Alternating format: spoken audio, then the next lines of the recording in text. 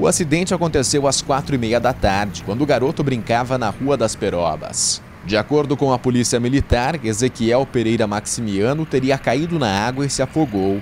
Mas apesar de o SAMU ter sido enviado para resgatá-lo, quando a equipe chegou, o menino já estava morto. Apesar dos esforços para reanimá-lo, ao médico de plantão só questou confirmar o óbito. De imediato, o local foi isolado para que a Polícia Civil pudesse colher informações. E ao fim do procedimento, o corpo foi trazido a Francisco Beltrão pelo IML.